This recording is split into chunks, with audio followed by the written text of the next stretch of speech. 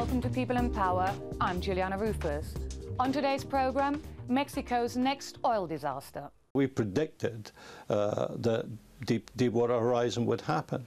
Uh, and of course, Mexican Gulf, Mexico, is 10, 20 times worse. So it, it had to happen, and it will happen again. One year ago this month, in the Gulf of Mexico, an explosion on the Deepwater Horizon oil platform cost the lives of 11 men. It also caused the largest marine oil spill in history and wrought havoc on the southern coastline of the United States. The political fallout was considerable, and the battle over responsibility and compensation will drag on for years. But the disaster also gave rise to much debate about the human and environmental costs of oil production, especially in offshore waters. The argument has become particularly heated in the country from which the Gulf draws its name. Mexico is a major oil producer, and the huge profits from Pemex, the state owned oil company, have long underpinned the country's economy.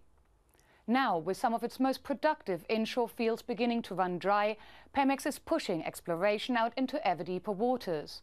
And that, say many activists, is worrying because the company's safety and environmental record is not as good as it should be.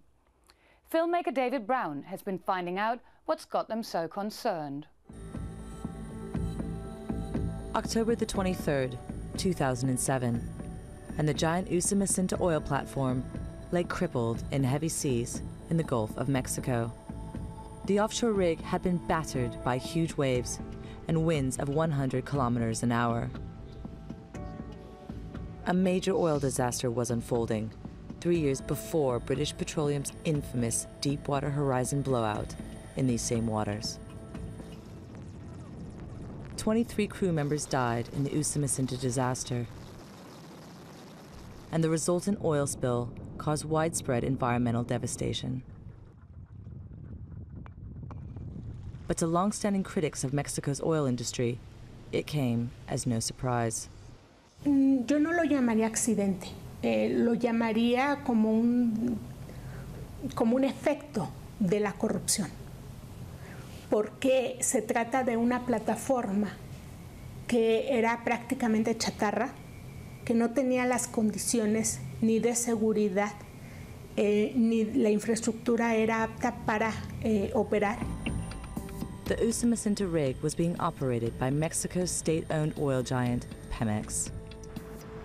Valued at $500 billion, the company is the 11th largest in the world and currently produces around 2.5 million barrels of oil a day.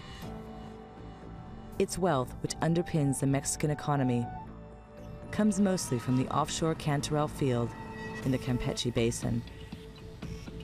Around 85% of this black gold is exported to the United States.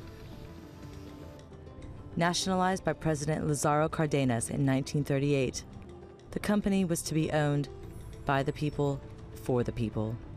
It's enjoyed legal monopoly over oil ever since. But critics say the 2007 disaster was a clear indication that Pemex has been putting profits well before people. Si los supervisores de petróleos mexicanos hubieran hecho el checklist como correspondía, la plataforma Usumacinta no podía operar en la sonda de Campeche, pero se permitió operar.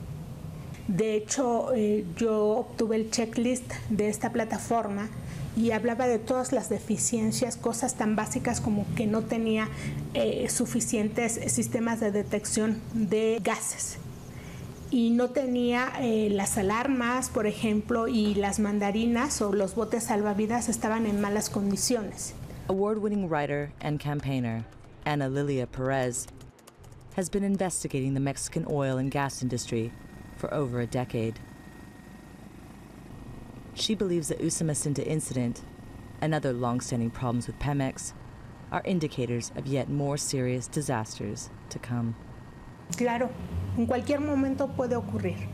Me parece que sus prácticas ni tampoco cumplan eh, cabalmente con los protocolos de seguridad, lo cual es un foco rojo que en cualquier momento puede detonar en un nuevo accidente. By any measure, the company has a troubled history. In June 1979, Pemex's Ixtoc 1 platform in the Bay of Campeche was hit by a catastrophic explosion and a huge oil spill that poured 140 million gallons of crude into the sea. In November 1984, a blast at a Pemex liquid petroleum gas plant in Mexico City killed 511 people. In April 1992, 293 people died when fuel from a Pemex depot in Guadalajara leaked into the sewer system and blew up parts of the city center. And last December, a pipeline blast in San Martin, Texmelucan, killed 28 people. It's thought the accident was caused when oil thieves breached the pipeline. It's a common occurrence. According to a recent report of the Mexican Senate, there were nearly 400 breaches in the company's aging pipeline network in 2008. These often result in damaging oil spills. On land, the effects of contamination are not hard to find.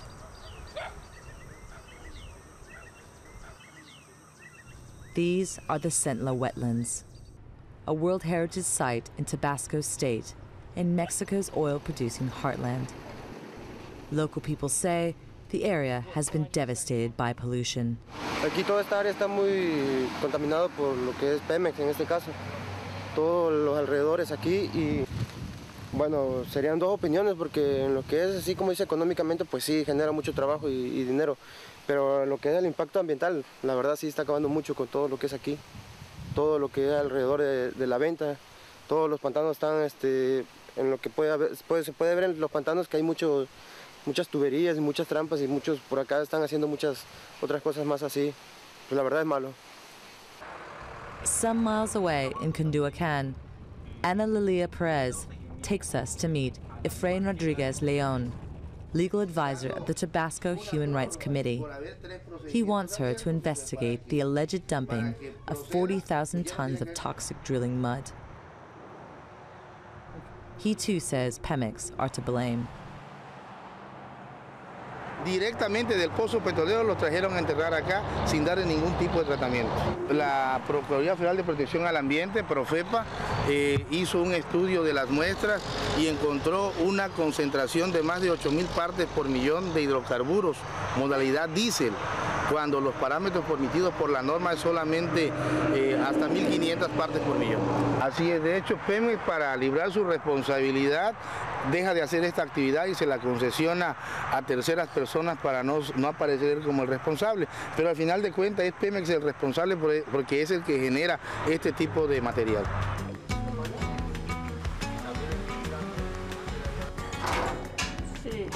Ana Leon Escuerdo says oil has poisoned the wells in her village. Mira usted el agua. Es agua contaminada. Esta agua no sirve, ve. Esto, esto no sirve. Está contaminada, es puro aceite. No sirve el agua. Y aquí viene, esto es la contaminación. Este es el aceite. Estamos como a 300 metros donde tiran los, los residuos tóxicos. Last year, hundreds of campesino protesters decided to march on the Tabasco state capital, Villahermosa. It was the latest in a series of protests against the oil industry. The campesinos want compensation from the company they blame for their misery. de las mismas expectaciones de Pemex de los pozos, donde queman desperdicio, ese es el que nos está molestando ahorita. Esta agua está infectada, hasta los animales de plumas se, se están muriendo porque beben esta agua. Uh, ella tiene tiempo que las frutas se están muriendo y Pemex no ha reconocido, pero ni un grano de arena ha dado. Aquí con los pobres nosotros que estamos. The region's inshore fishermen are also up in arms. The coastal waters off Tabasco State used to be teeming with life.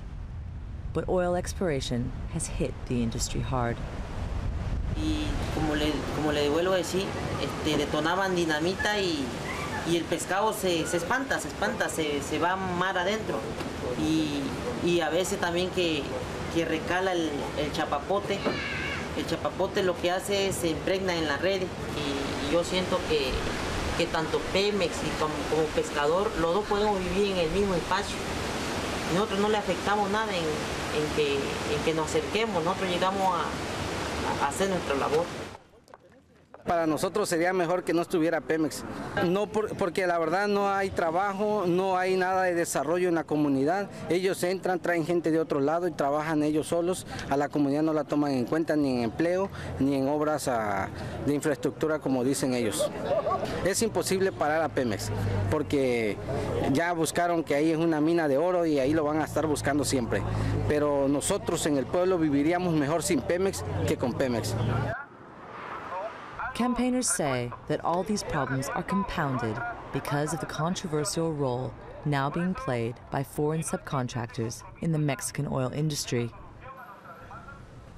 They point out to Article 27 of the Mexican Constitution, which says that subsoil hydrocarbons are the monopoly of the state. For Ana Lilia Perez and others, it means only Pemex should have the right to explore and drill for oil and gas. Hemos visto que en los últimos años se está violando la ley porque son las compañías privadas y compañías extranjeras como la que vemos acá, que es una compañía de Estados Unidos la que está perforando los pozos. La constitución dice que solo petróleos mexicanos puede perforar sus pozos.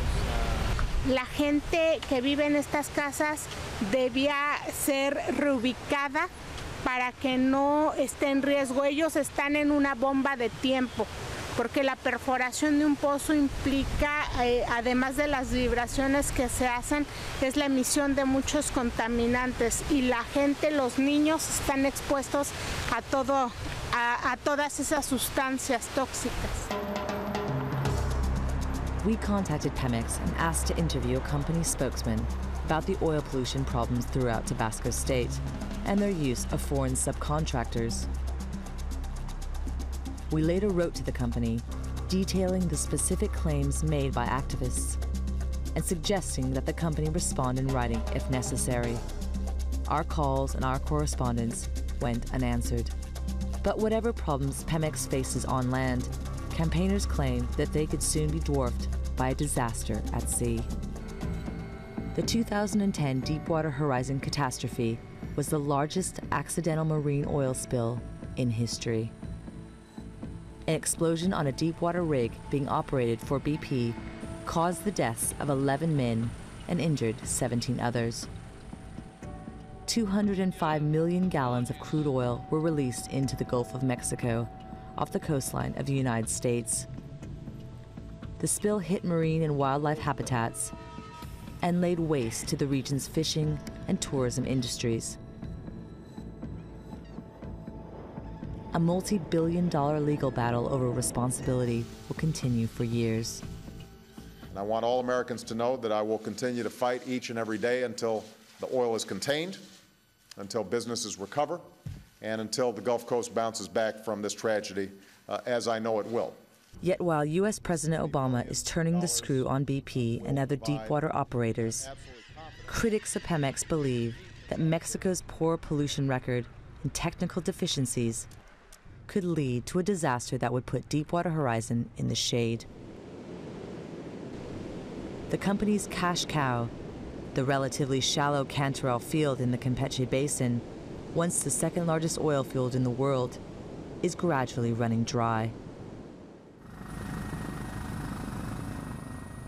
With huge untapped reserves known to exist further offshore, Pemex is now pushing into deeper waters to boost its faltering production. And this month, the company is due to start drilling to 2,600 meters, the deepest that Pemex has ever ventured. Alfredo Hernandez Penalosa worked for Pemex for 23 years as a senior petrochemical engineer. He says Pemex's history makes deepwater drilling a matter of grave anxiety. El permitir un desarrollo amplio de actividad ahí va a provocar esas bombas de tiempo, va a provocar condiciones inseguras eh, en la actividad, porque no hay vigilancia, no hay control de las actividades en, en mar abierto. Other industry insiders agree. They say Pemex will have to rely on specialist subcontractors to operate the rigs, but that will only happen if the company improves its safety record. They don't have the technology. The only way that will happen is to invite uh, outside uh, contenders or contractors to come in to drill and explore uh, for oil and gas. Those companies will not come in unless they, the Mexican government and Pemex agree to apply world-class standards uh, from start to finish. There is some evidence to support these concerns. This is the Ocean New Era, seen in footage gathered by activists last year. According to the Mexican government, the rig was working in the Gulf of Mexico until August 2010. It was being operated by a Pemex subcontractor. We have obtained a copy of a document known as a checklist,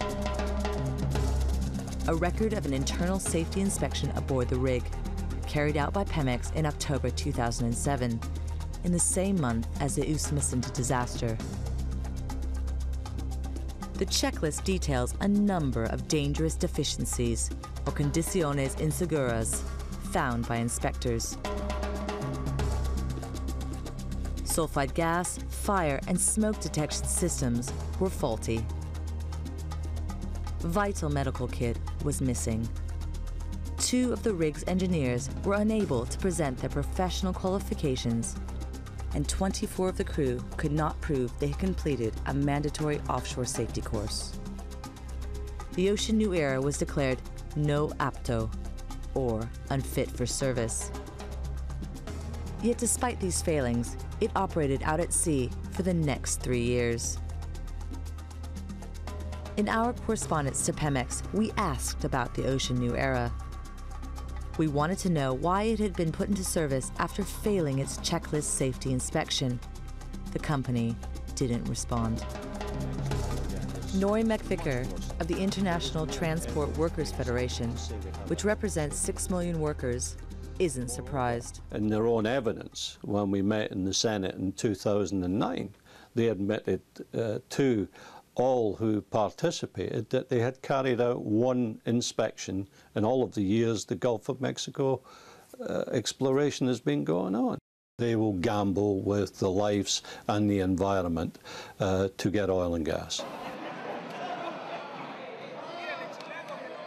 But for many of Pemex's critics, anxieties about pollution and safety have their roots in the company's failure to abide by its founding principles. They point to the company's attitude to its workforce.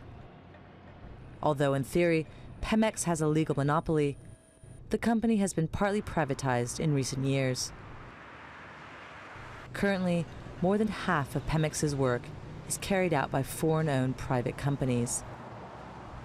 Many of these firms then outsource it to even smaller subcontractors.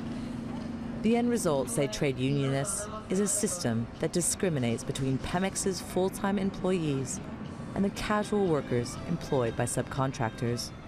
Aquí no vienen a trabajar y a operar como en el extranjero. Aquí vienen a explotar a los trabajadores. Y eso es lo que no puede aceptarse. ¿Por qué esas mismas compañías en el extranjero sí pagan las condiciones de esos países como en Noruega, en Reino Unido, y acá no, acá vienen al revés.